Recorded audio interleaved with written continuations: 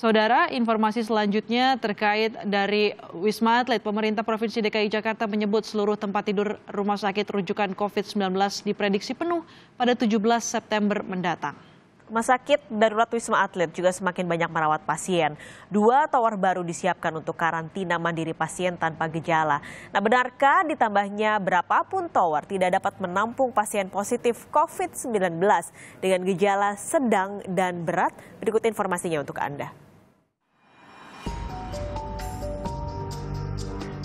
Sinyalemen status darurat COVID-19 di DKI Jakarta diduga menguat pasien dengan gejala sedang hingga berat termasuk yang harus menjalani isolasi memenuhi ruang perawatan di rumah sakit rujukan. Gubernur DKI Jakarta Anies Baswedan memperkirakan seluruh tempat tidur di rumah sakit rujukan akan penuh mulai 17 September. Kemudian kita memasuki masa transisi. Dan apa yang terjadi secara bertahap, terutama di bulan Agustus, kita mulai menyaksikan peningkatan jumlah kasus.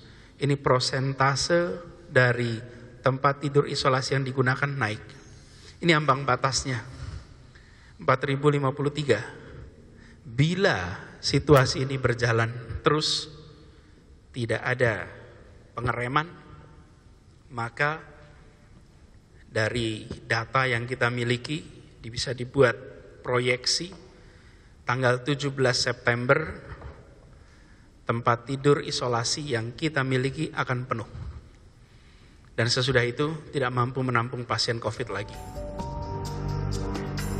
Total tempat tidur perawatan COVID-19 DKI Jakarta saat ini mencapai 4.053 unit dan 77 persen telah terisi. Pemprov DKI Jakarta pun menambah 11 rumah sakit baru mencegah lonjakan kasus baru.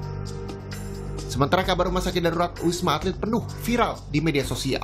Kolonel Marinir Aris Mudian Kepala Penerangan Komando Gabungan Wilayah Pertahanan 1 mengklarifikasi kabar ini. Belum penuh, masih sesuai daya tampung saat ini seperti dikutip dari kompas.com. Satgas Penanganan COVID-19 4 September lalu merespon ancaman krisis ruang perawatan COVID-19 DKI Jakarta dengan membuka tower 4 dan 5 rumah sakit darurat Wisma Atlet. Dua tower baru ini akan disiapkan untuk karantina mandiri pasien tanpa gejala.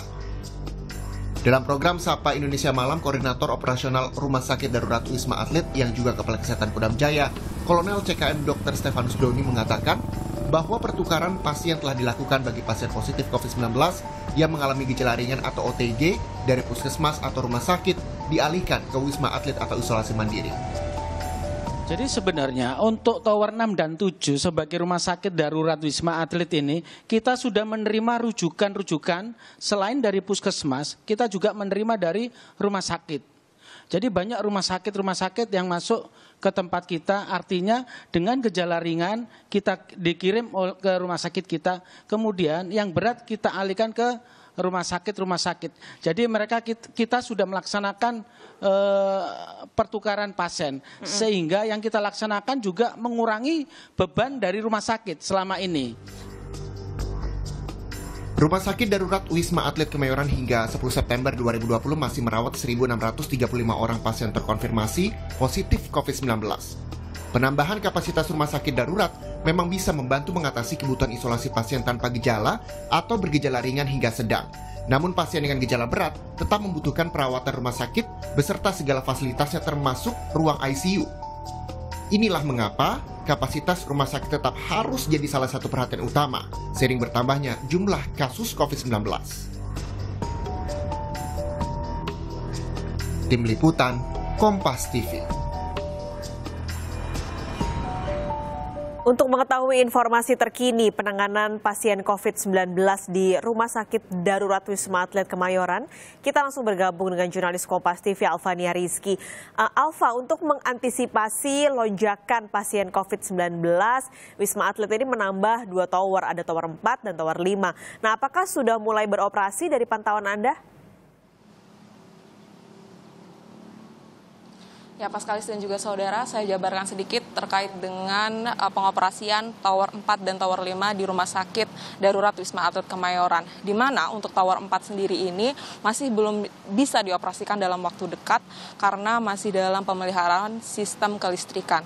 Menurut uh, pihak koordinator RSD Wisma Atlet bahwa Tower 4 ini baru bisa dioperasikan setidaknya dua minggu dari sekarang, artinya masih ada waktu dua minggu lagi untuk kemudian memperbaiki sistem kelistrikan di Tower 4 ini ini. Mengingat tower ini nantinya akan dijadikan um, gedung isolasi mandiri bagi para pasien sehingga dibutuhkan kesiapan yang matang baik itu untuk alat, alat kesehatan yang mungkin akan dioperasikan di tower tersebut maupun di ruangan-ruangan um, kamar isolasi bagi para pasien nantinya. Sedangkan untuk tower 5 ini sendiri memang disebutkan sudah siap untuk beroperasi. Bahkan siang ini juga disebutkan bahwa pihak rumah sakit akan mensimulasikan seperti apa nantinya uh, operasional dari tower 5 ini sendiri. Untuk tower 4 dan tower Tower 5 ini nantinya bisa menampung hingga 2.400 pasien COVID-19 catatannya tanpa atau pasien tanpa gejala.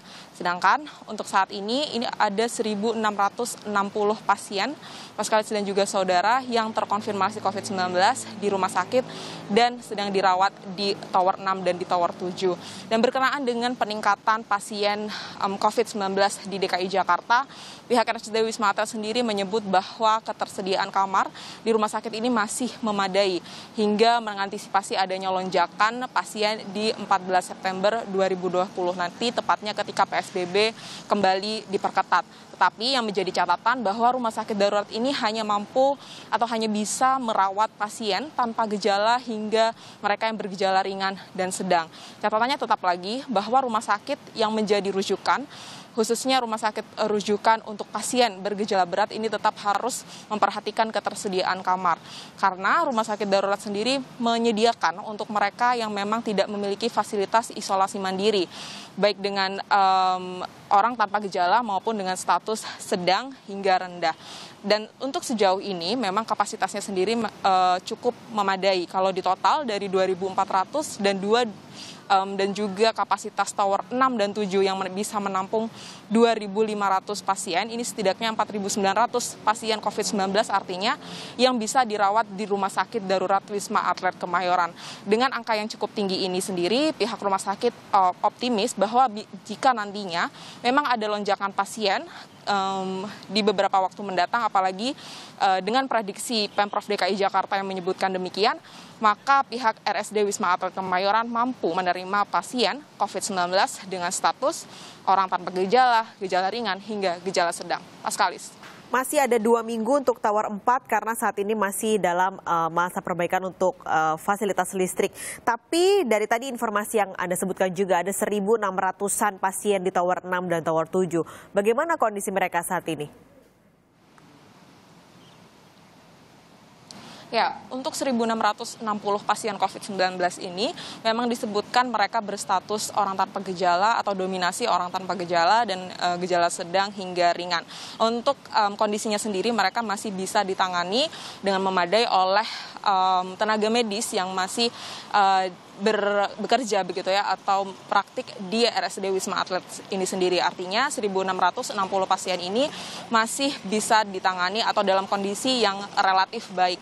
Karena di Tower 6 dan di Tower 7 ini memang uh, sudah dioperasikan seperti di rumah sakit uh, pada umumnya tetapi memang uh, artinya ada fasilitas instalasi gawat darurat dan juga poli umum yang memang diperuntukkan bagi para pasien ini dan juga ada juga lab uh, untuk PCR yang sudah memadai bagi para pasien di sini. Jadi untuk tesnya sendiri bisa uh, langsung dilakukan di rumah sakit ini sendiri tanpa harus mentransfer ke rumah sakit-rumah sakit rujukan seperti sebelumnya.